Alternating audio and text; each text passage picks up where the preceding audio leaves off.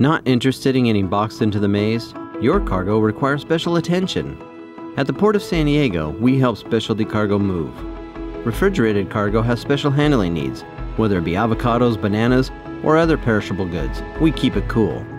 We have the expertise to move your specialty cargo with ease and efficiency. On dock cold storage warehouse. On dock rail. Minutes to multiple interstates let the Port of San Diego provide you with a special advantage.